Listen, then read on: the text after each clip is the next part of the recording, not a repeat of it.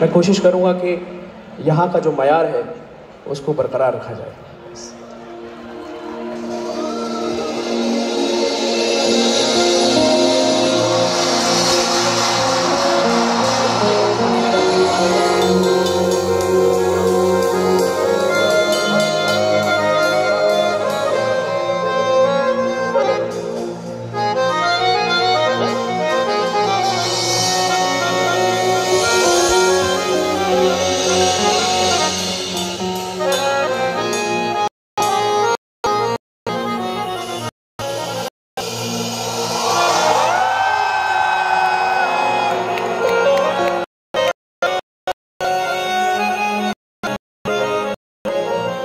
Thank you.